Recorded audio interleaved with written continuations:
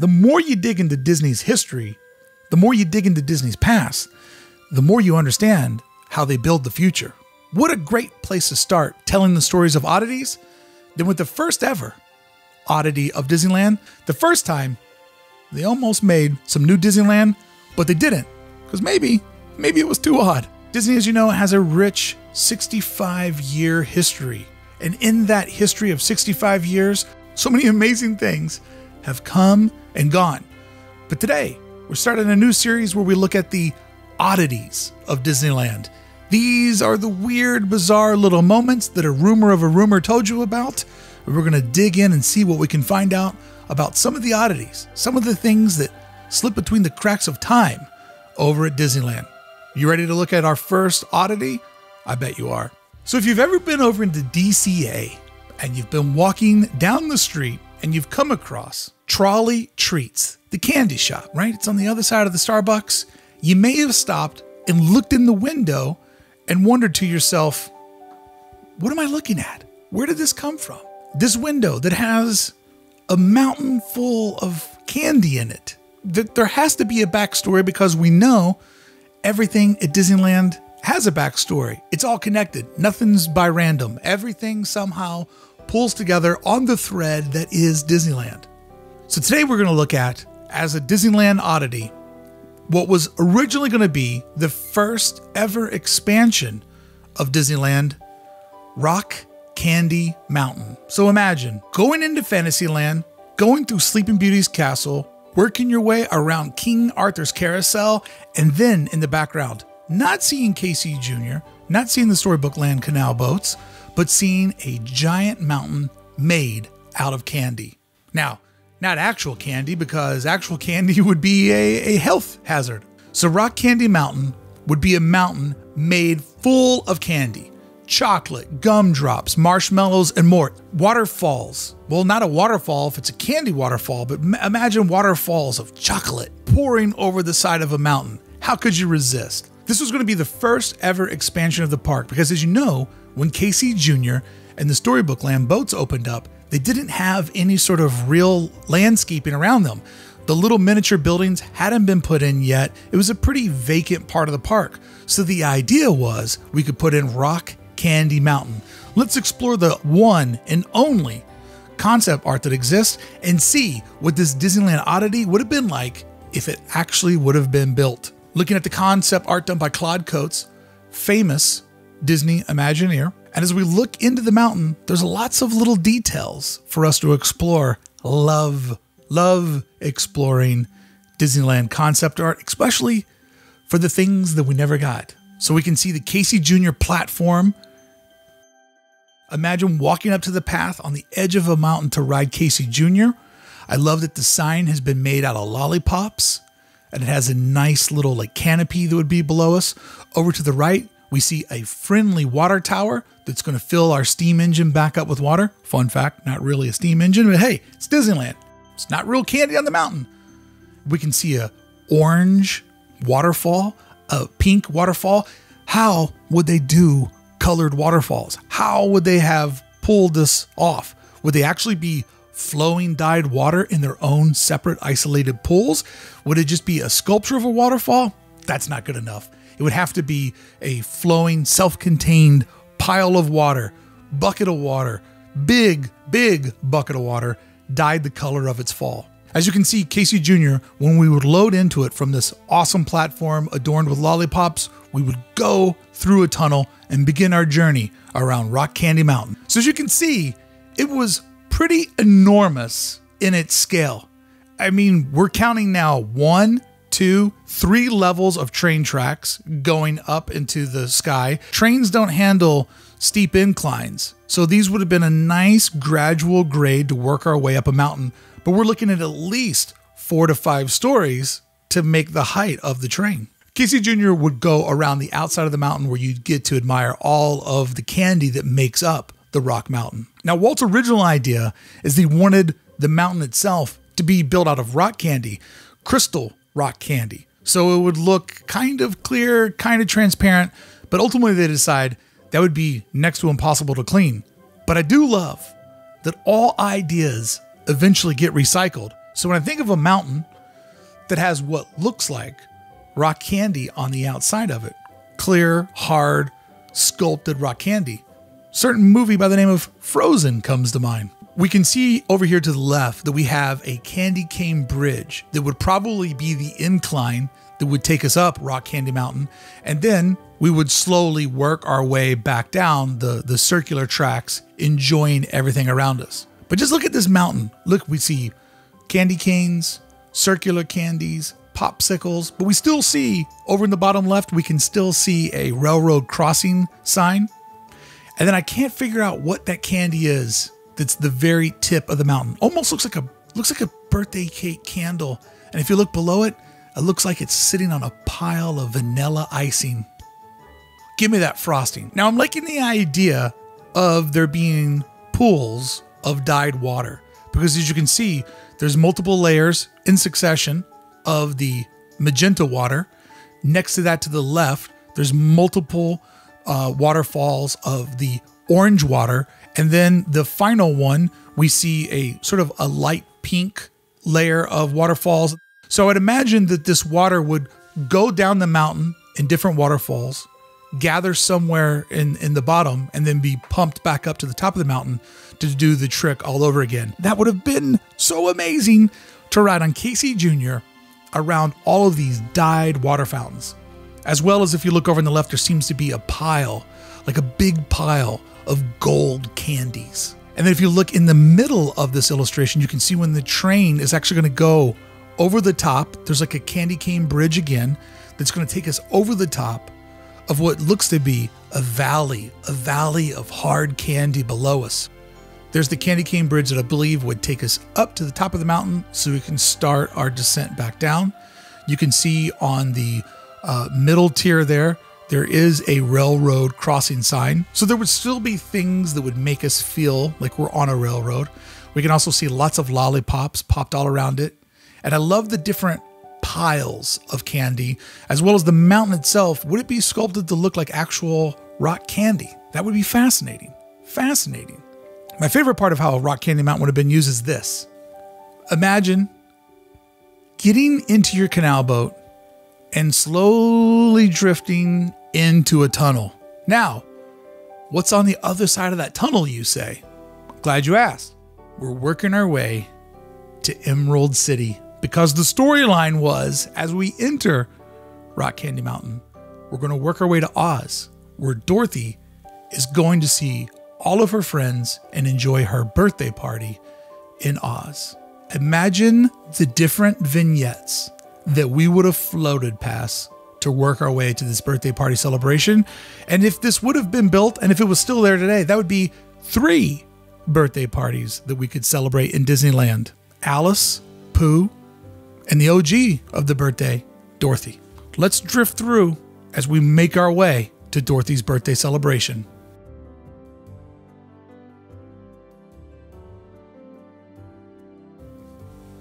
Take me there. This right here is the three levels of Disney storytelling. As you see, we have the tapestry of trees all around us. So those would be very close to our boat. Then the next level would be the fountain that we're floating around. And then off to the distance, the promise of working our way to Oz. Now, what's interesting about this, aside from everything, Disney had just purchased the right to the Oz books. He was working on a movie called The Rainbow Road to Oz. As Walt was looking at expanding the park, he was already thinking three steps ahead. As you know, when Disneyland was built in 1955, Sleeping Beauty hadn't been released yet, but Cinderella had. People would have expected him to build Cinderella's castle in the heart of his new park because that's the castle that everybody knew. Walt, being a profound promoter, knew that putting Sleeping Beauty's castle in the park would help promote the film that he was spending a lot of money and a lot of time on. So he wanted to use Disneyland to promote a future project. So he wanted to use the interior of Rock Candy Mountain to promote the Rainbow Road to Oz, which was a movie that he wanted to work on to keep telling the story of Wizard of Oz. Now, there's very, very little concept art from this. I was only able to find these four pieces of concept art, but I believe what we're looking at here If we start over on the right, that looks like we would see a, a castle that we would work our way over to. The middle one, I believe, is showing that we would work our way through a forest to get to there. And then eventually, over on the far left, we would end up at the birthday celebration. And this is what that room may have looked like. So imagine we're inside a mountain of candy with the train running around the outside, and we just float past a celebration of Dorothy and all of her friends that we've come to love from The Wizard of Oz celebrating her birthday. An unbelievable concept. So, if you look over on the far right of the monitor here in the studio, you can see what this castle would have become. Man, that would have been so amazing to have that in there. For sure, in my opinion, as far as this part of the attraction goes, an upgrade for this part of the park. I mean, there's no doubt about floating inside of a mountain, getting to see all these different set pieces. That would have been an upgrade to what we actually got. This would have been where Casey Jr. and the Storybook Canal boats are. When the park opened in 55, they didn't have any real storytelling to them. This was going to be the first ever expansion of Disneyland. They were going to build this mountain, run Casey Jr. around the outskirts, and put the Storybook Canal boats through the center of it. And then tell us the story of the Rainbow Road to Oz. Woo. Sign me up when we look at the details of this castle that would have been built in one of the show scenes, that reminds me a lot of what the towers look like during the anniversary when they put the diamond on top. I'm telling you, the more you dig into Disney's history, the more you dig into Disney's past, the more you understand how they build the future. Allegedly, they had made, I believe, like 30 different models of what this would look like. I looked everywhere, everywhere to find these models, could only find one. And when you're looking for a deep dive on Disney history, there's only one man you trust Jim Hill. Jim Hill somehow had this image. Look at this model for the attraction. Now, I don't know this for sure, but let's imagine what could that semicircle of space, what could that have been for us? Could that have been where we would literally have floated past the celebration? Or would that area be where there would be figurines telling us more story? I would have loved to think that we would be floating past all of this. That would have been my preference for sure. You can see once again, there's your three levels of storytelling.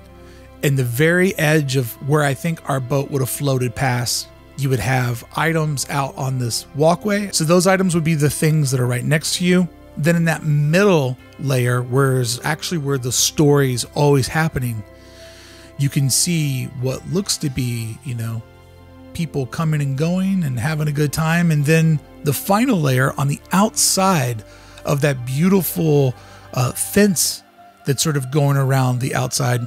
Then you see the silhouettes telling us that there's even more happening out on the outskirts. It also looks like there may be a hot air balloon floating around. And then over on the far left, it does look like that there is a character in some sort of is it are they in a hot air balloon box? What are they what are they floating in over there? But just imagine being in a boat inside of this mountain and floating around this big show scene. Take me there. And of course, if you're going to build a Disneyland dark ride, you got to have figures. So here are a couple sculpts of how they were imagining making a more animated version of the Wicked Witch of the West and the Cowardly Lion. You can see that it has all of those vibes of the 50s, a friendlier version. They did concept art, they built models,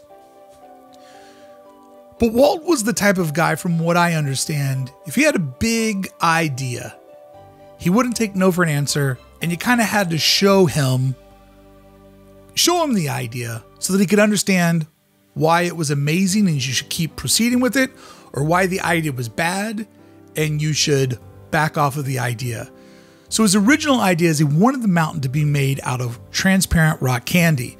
Well, ultimately they decided that that would be impossible to keep clean because if it was basically a hard acrylic plastic, they would have to clean it all the time and to put all the proper cuts and curves into it, it would just be a mess. As you know, Southern California, We don't have rain, we don't have snow, but we have more sunlight than you can shake a stick at.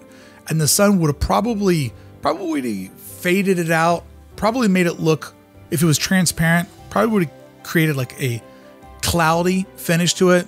So ultimately they decided that doing a transparent sort of frozen like mountain just wasn't going to work. So when they shifted their attention, they decided to build a model out of it. Now they did something that I have a theory on. This is just just just my working theory because as you know, I come from the world of art. I was an illustrator for the Wonderground Gallery. I've made a lot of art in my life, which also means I've worked with a lot of clients in my life.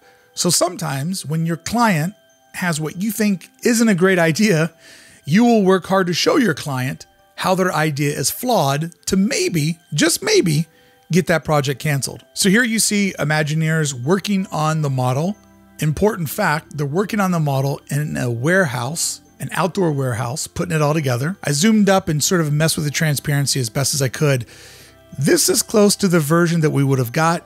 You can see the rock work, you can see the the candy waterfall coming down there. But here you can see that they're actually building the model for Walt out of actual candy, using real candy. They didn't make plastic molds of candy and build the mountain. They just went and bought real candy to build the mountain. This is another version of what this could look like. And in this version, you see the theorize various dyed waterfalls that would collect in their own different pools. Down in the bottom left, you can see the lollipop area where Casey Jr. would load in. And you see the track going around the mountain. Is it just me, or does this feel like a dress rehearsal for Matterhorn? They built this small scale model, and I kid you not, this is this is the story. They put licorice on it, gumdrops, candy canes, and fudge. But they were building it in their warehouse. And as the heat started to build in a non air conditioned warehouse, the model, the model started to melt. And when they showed it to Walt, he's like, nah, thanks for trying, guys. Doesn't work the way that I thought it would.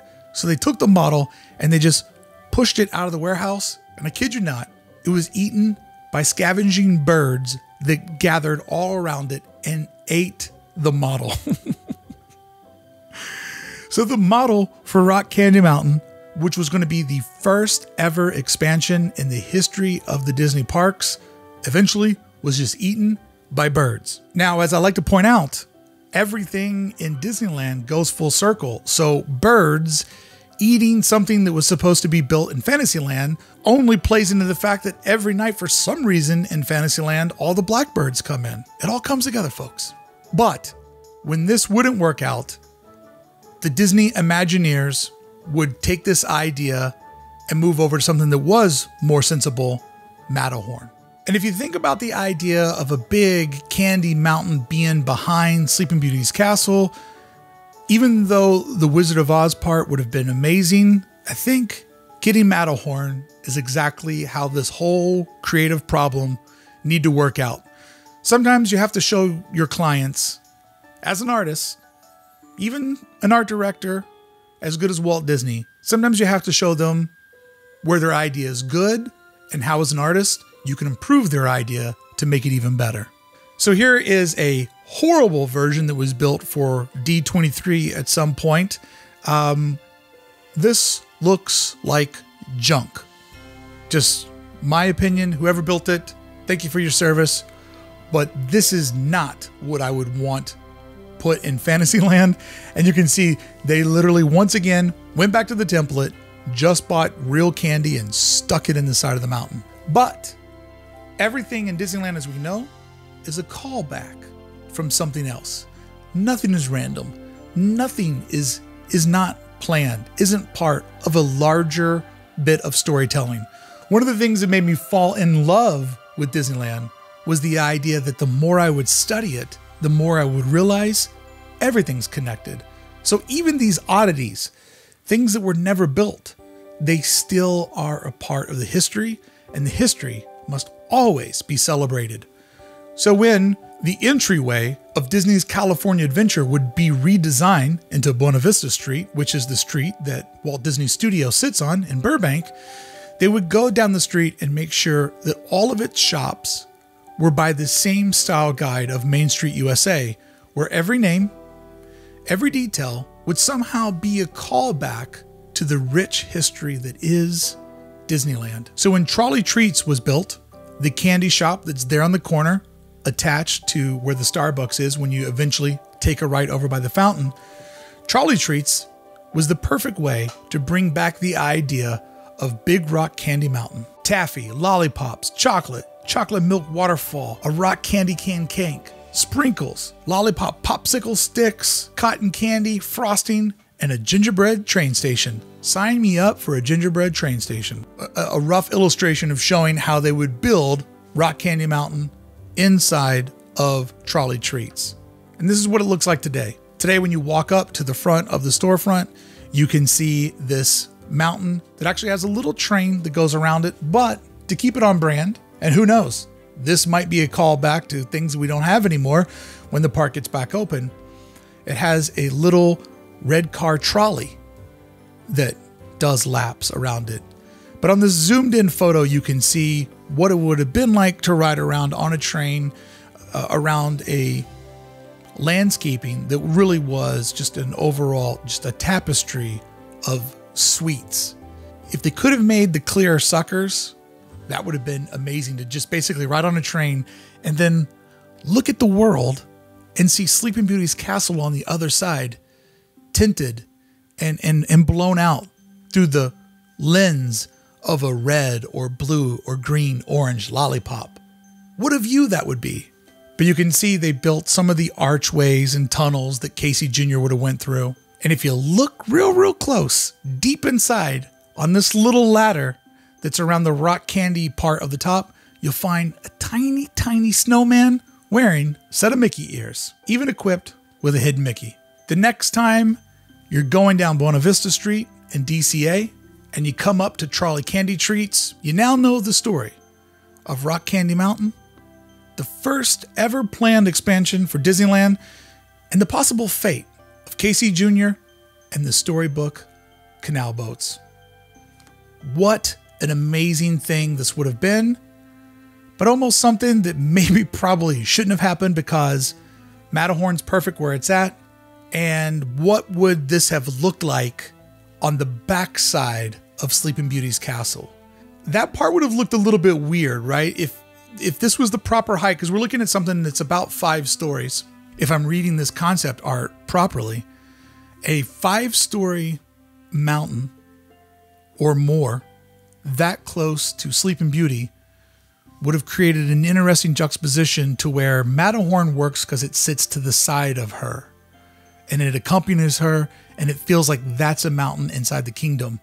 But having this fictional candy mountain right behind her would have created an interesting sightline, a sightline that I don't think that I'm a fan of. But imagine standing in the Small World Mall, in the Small World Promenade, and having that beautiful Mary Blair Rolly Crump facade behind you, and then looking over at a mountain full of candy that valley in there, that would have been the happiest valley on planet Earth. Small world behind you, Big Rock Candy Mountain on the other side. Take me there. Take me there. Oh, and with the Imagineers, how they love to put in the scents. Imagine what this train ride, what this boat ride would have smelled like. Woo! Take me there. This is a new series that I want to make that will focus on the oddities of Disneyland, all the little things that we've heard about or maybe haven't heard about, all the things that didn't happen or did happen in a very odd way. Thank you for hanging out with me and going into the past and looking at what could have been to Fantasyland and what the first expansion could have been. But we all know it went a different way, and we got beautiful Matterhorn Mountain. So there you go. There's the story of Rock Candy Mountain and what almost became the first ever extension of Disneyland. A lot of people make Disney content. I'm just trying to make a, a happy flavor of it that, that it, people can enjoy. I appreciate you guys supporting me. That's how we'll keep doing it. That's how we'll keep doing it together. As long as you guys love me, I don't have to care that the algorithm hates me. Would you rather have this or what we got? Would love to know. Would love to know your opinion. Would you rather have this or what we got? Because this would have been amazing. I think the story of this would have been better. I think going into Oz would be better than going around the miniatures, even though I do love the miniatures. Big fan of, of Storybook Land. However, there's the other part of me that says that this would have been an eyesore for the rest of Fantasyland. I wonder if we had this, would we get Fantasyland 1983? Would we get the Bavarian village? I know I said that wrong. But would we have got the European style village with Rock Candy Mountain, or would it all stayed looking more like a medieval uh, Renaissance fair? Or would you like this because this accompanying Small World would just be too much magic for the heart? Could you imagine this attraction during Christmas, during the holidays? Could you imagine this attraction when they opened it up for a Halloween party?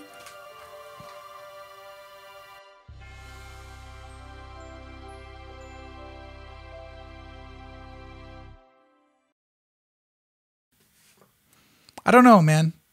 I love candy and treats and things that are sweet, but this this might have been too much of a good thing. Too much of a good thing. That was gross. I won't do that again. If this would have existed, everybody would have called me Sticky Bricky when I tried to climb the side of it. Bavarian Cream Village? I wish it was a Bavarian Cream Village. Just imagine if all of the roofs in Fantasyland were with that cream coming out.